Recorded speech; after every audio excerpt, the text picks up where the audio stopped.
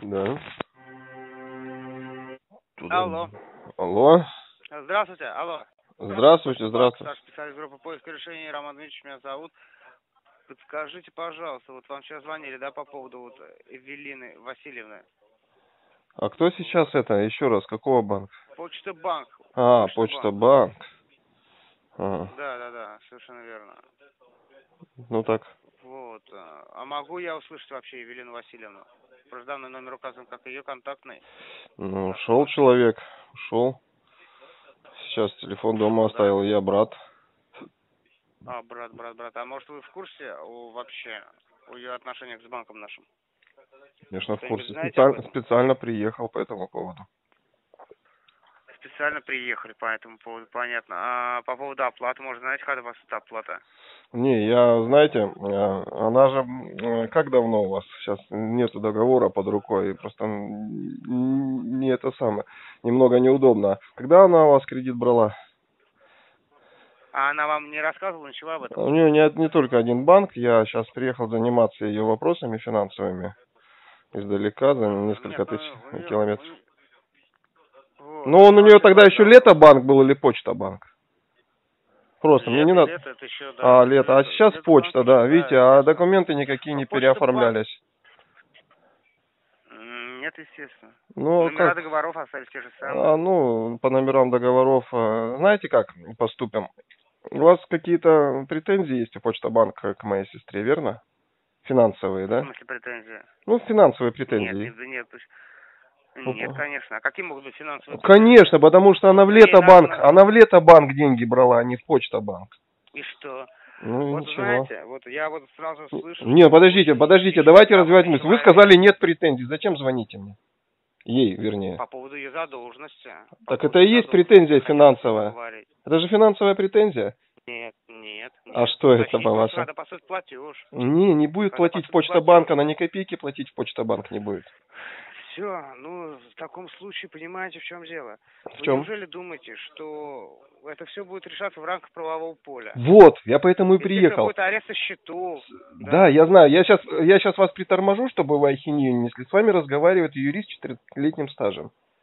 Вот сейчас про арест Тем счетов, более, да, тем более, да, да, сами да, да. тогда вот сами себе верите, что вы говорите. Если вы юрист считаете... Понимаете, я, да, я просто так голословным вещам не верю. То есть, когда мне что-то рассказывают, я всегда проверяю. Так вот, а, порядка Да, четырех да. лет я уже занимаюсь тем, что вот помогаю людям, попавшим в трудную финансовую ситуацию, в том числе с банками. Мгм. Знаете, очень А как же у вас результативно. тогда ваша сестра попала? Ну вот, понимаете, Такой далеко живет, сестра еще и двоюродная. Я вам, конечно... Я узнал, да, понятно. немножко. Ладно, в принципе, Мгм. особо-особо мне раска- разговаривать с вами... Конечно. Я вам и не рекомендую Да, со мной разговаривать. разговаривать. Да. Да, ну понимаете, вы берете абсолютно чужой телефон, представляетесь братом двоюродным, который приехал откуда-то издалека, понимаете. Это мое говорите, право. что вы юрист с 14-летним стажем. Да. да. Нет, телефоны брать чужие, это, во-первых, просто неприлично, на самом деле. Это, понимаете, в контексте согласны? вообще Вы со мной чужие. согласны? Она, я мной согласен согласны? полностью, но она мне не чужая. И она вообще мне разрешила это делать. Сказала, вот телефон, на него звонят а представители Ну, банков, пожалуйста, разговаривай с ними. И что тут, и что тут противоречивого? а, да.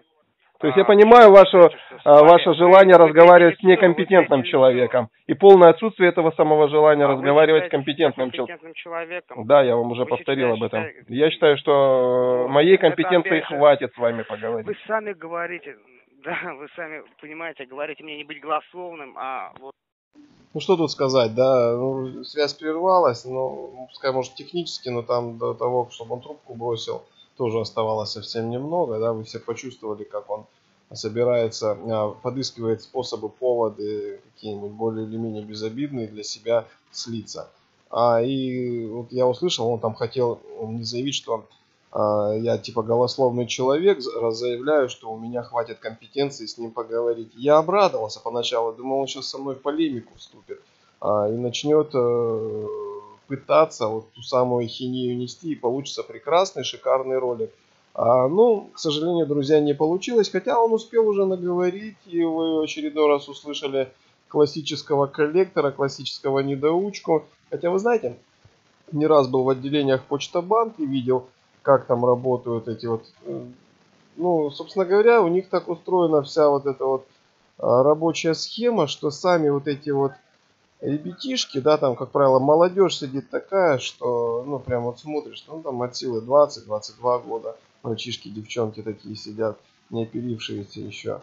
А, и вот сидят те же, которые выдают кредиты, и те же и обзванивают. То есть вот этот самый почта-банк таким образом, как он им наверняка преподносит, да, готовит из них высококлассных специалистов, готовых работать а, ну, в любых условиях, по любым там задачам, по любым, а, собственно говоря, должностям и так далее.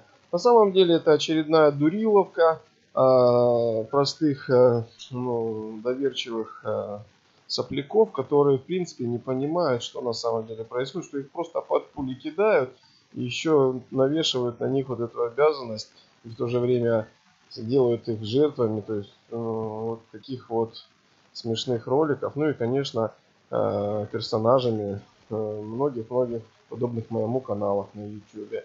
А кто не понимает, почему я так утверждаю, кто свято верит а, в правдивость, э, в честность банкиров, пожалуйста, придите на вебинар, ссылочка на вебинар в описании. Я знаю, что таких людей очень много появляется на нашем канале, которые из любопытства заходят узнать, что и как. Конечно, в рамках канала это может быть и не узнать конкретно, но на вебинаре, поверьте, мы вам глаза откроем. Это вебинар бесплатный, ссылочка есть в описании этого ролика, и там же расписание по этой ссылке. Обязательно посмотрите видео на ну, презентация вебинара.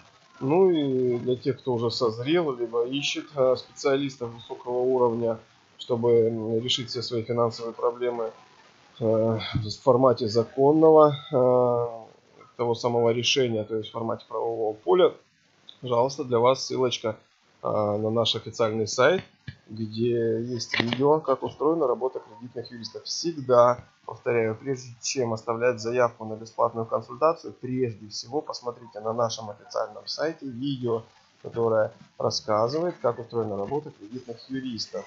А, ну и группа, ссылочка на нашу группу ВКонтакте, тоже вступайте, подписывайтесь на наш канал.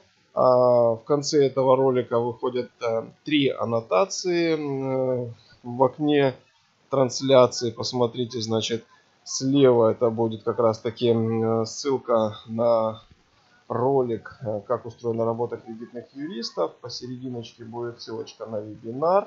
Это и, соответственно, справа будет ссылочка, нажав на которую вы подпишетесь на наш канал. Ну и то же самое продублировано, как я уже и сказал, в описании этого ролика. Пожалуйста, это во всех, в принципе, практически роликах выложенных за последний месяц. Поэтому можете в любом ролике увидеть эти необходимые ссылки и аннотации. Итак, на связи был Дмитрий Кузнецов, Центр юридической защиты, компания Алям. Счастья вам, здоровья, финансового благополучия. До свидания.